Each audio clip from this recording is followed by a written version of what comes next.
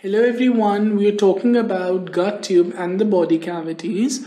This is the last section that uh, we'll be talking about in this presentation. It includes diaphragm and thoracic cavity. We'll take a look on the development of diaphragm, how septum transversum and thoracic cavity come into play, uh, how the diaphragm is formed, and what are the clinical correlates of diaphragm. I hope you're excited about this. It's a very nice, very sweet, and very important lecture. So let's talk about septum transversum. It is a thick plate of mesodermal tissue. Uh, it lies between the thoracic cavity and the stalk of the yolk sac. So it incompletely separates the thoracic and the abdominal cavities. There are two large openings, the pericardioperitoneal folds.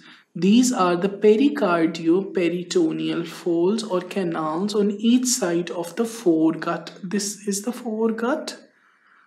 So now this is the septum transversum these are the pericardioperitoneal canals on each side of the foregut. So let's see how this comes into play. Lung buds grow caudolaterally in the pericardioperitoneal canals. In this region, the lung buds tend to grow caudal, caudolaterally uh, towards outside, towards the body cavity, they tend to grow. Uh, canals are small and lungs are growing at a very fast pace. These are narrow spaces. So the lungs now tend to encroach on the mesenchyme of the body wall dorsally, ventrally, and laterally. This was ventral, this was dorsal, and lateral is away from the body. So ventral and lateral expansion is posterior to the pleuropericardial folds. It is posterior to the pleuropericardial folds.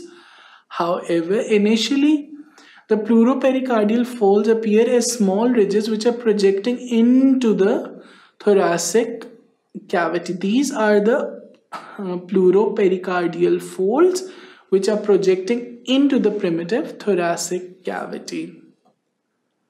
Now, the thoracic cavities, uh, the mesoderm of the body splits into the definitive wall of the thorax and the pleuropericardial membranes. Alright, uh, the mesoderm of the body, it splits into two parts the definitive wall of the thorax and the pleuropericardial membranes. Pleuropericardial membranes are actually the extensions of pleuropericardial folds. Now, here these are the pleuropericardial membranes which are actually the extensions of pleuropericardial folds. They contain cardinal veins and the phrenic veins. Cardinal and phrenic veins are the contents contained in them. Now descent of heart and position changes. It causes it shifts the common cardinal, cardinal vein towards the midline. The common cardinal vein now occupy the midlines and the pleuropericardial membranes are now drawn out like mesentery. These here, the lung is growing, the heart is shifting. All of these causes the pleuropericardial membrane to draw out like mesentery. They fuse with each other and with the root of the lung. They fuse with each other and with the root of the lung to form the pericardial and two pleural. This is the pericardial cavity and these are the two individual pleural cavities. And how are they uh, formed? They are formed by the fusing of pleuropericardial membranes with each other and with the root of the lungs. Pleuropericardial membrane form the fibrous pericardium in the adults. Now the formation of diaphragm so pleuropericardial can pleuroperitoneal canals are the connection between the pleural and the peritoneal cavities as is evident from the name. they are crescent shaped pleuroperitoneal folds which encroach on the thoracic cavity. they project into the caudal end of the pleuroperitoneal folds. Now, the pleuroperitoneal, they are projecting into the caudal ends of the pleuroperitoneal folds. Gradually, they extend medially and ventrally, fusing with esophagus and septum transversum. Esophagus, which was lying in the midline, and, sept, uh, and septum transversum, they fuse with it. The fusion causes pleuroperitoneal membrane to close off the connection between the pleural and the peritoneal cavities. The pleural cavity lies above, the peritoneal cavity lies below.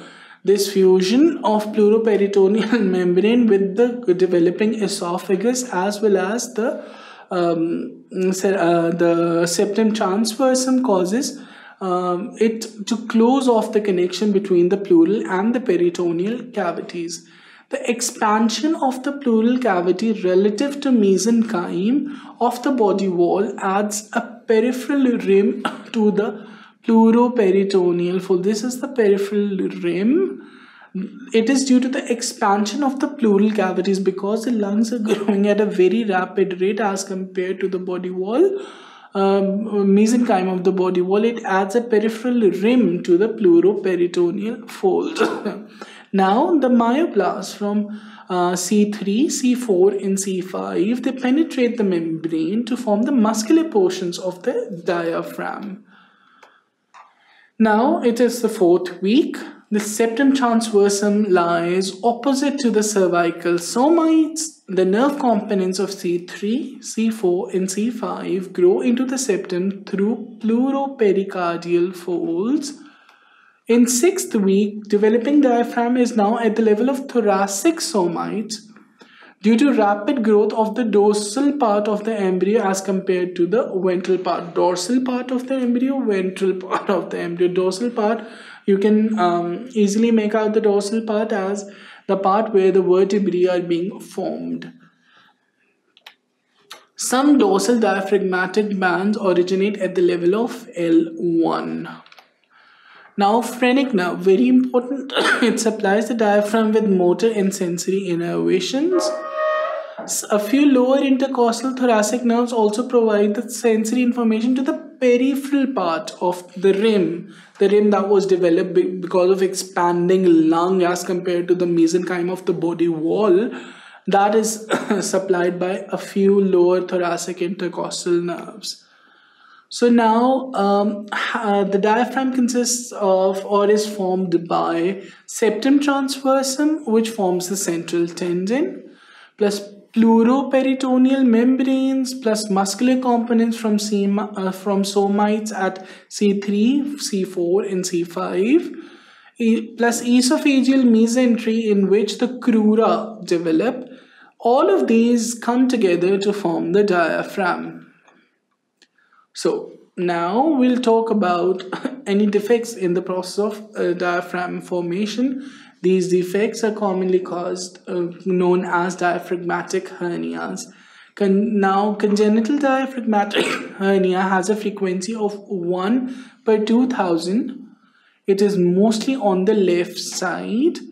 It is due to failure of one or both pleuroperitoneal membranes to close the pericardioperitoneal canals. Important aspect pleuroperitoneal membranes uh, to close the pericardioperitoneal canal, the communication between the pericardial and the peritoneal um, areas. The abdominal viscera can enter into the pleural cavity, abdominal viscera in the chest, Push the heart anteriorly and compress the lungs. The lungs are usually hypoplastic, they're not formed properly, which may lead to death in case of a large defect. So, now let's talk about uh, parasternal hernia. It is a small, in this uh, hernia, we have a small part of muscular fibers of the diaphragm that fail to develop. Where did the muscular fibers of the diaphragm come from?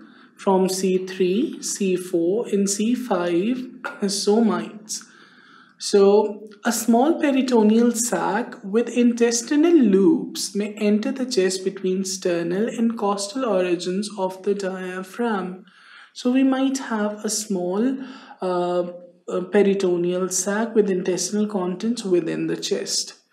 Now we have esophageal hernia.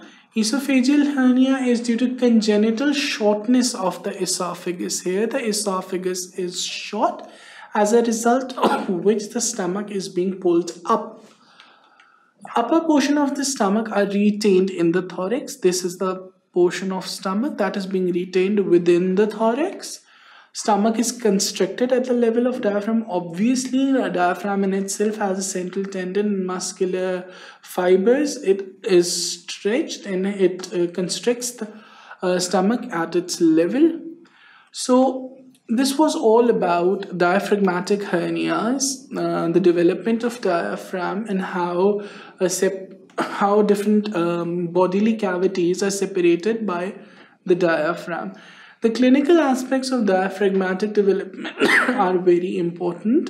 Always keep that in mind. Uh, uh, the patient uh, may have symptoms or may simply come with dysphagia, and you may investigate the patient to find out that the patient has some form of esophage uh, of uh, diaphragmatic anomaly or diaphragmatic hernia.